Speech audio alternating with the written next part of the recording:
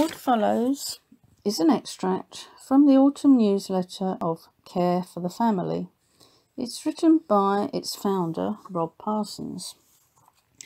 I was 15, about to drop out of school, assuming I could get away with it, and I had just about given up on church, and for good reason. In my school report, my form teacher had written, He's making no use of what little ability he has and I decided that the little church on the corner of my street where I'd gone to Sunday school was just too boring for someone whose main ambition in life was to be a rock star. One day, as I was walking down the street, an older man I knew from church came up to me. His name was Arthur Tovey. Arthur and his wife Margaret were poor. They lived in two rooms in his mother's house. They'd been told they couldn't have children of their own, and Arthur didn't have an educational qualification to his name.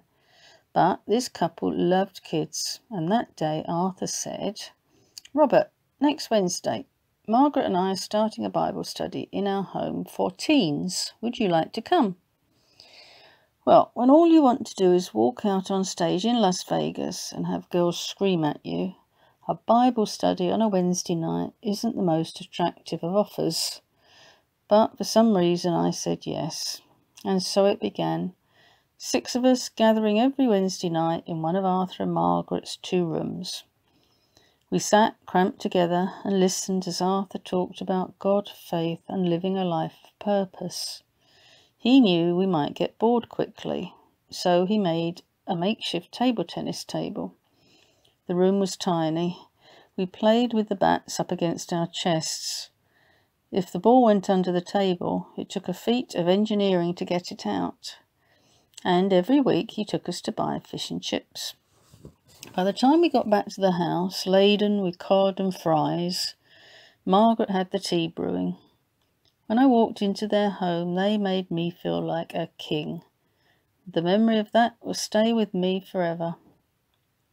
They told all of us that we mattered, that we were special, and that God had given gifts to each one of us. One day, Arthur asked me whether I ever took part in debates at school. I told him I didn't even put my hand up in class. This didn't seem to daunt him.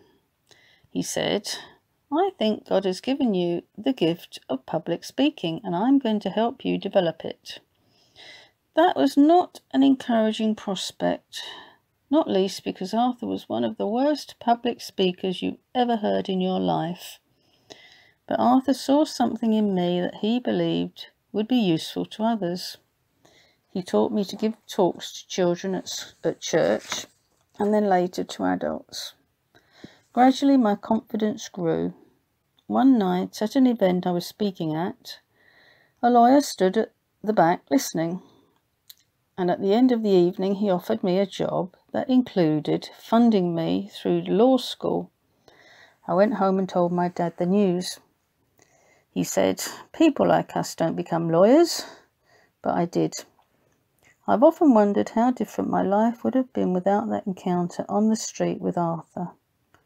Subsequently, I was joint senior partner of a legal practice and then helped start a legal consultancy. I found myself giving talks to lawyers in locations such as the Hilton on Park Lane in London. I still think that hotel is pretty fancy, but to a young man who'd never lived in a house with an inside toilet, it was unbelievably grand.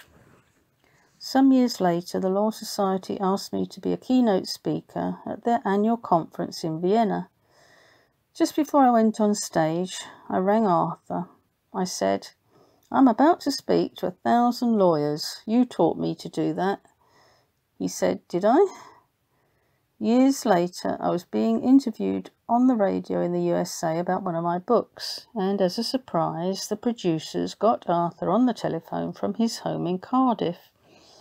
The presenter asked him, What do you think now of the boy who came to your Bible class? The phone went quiet for a while.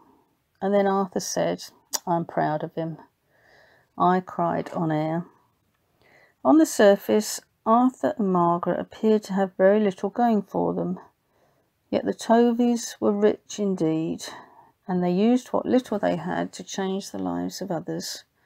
If it were not for Arthur, my wife Diane and I wouldn't have gone on the road 30 years ago with our first marriage matters seminar, talking to others about marriage and parenting. All the incredible work of our team at Care for the Family would, wouldn't have happened. The initiatives we've had the privilege of setting up and the difference that these have made in the lives of so many people, I believe that in so many ways Arthur Tovey began it all.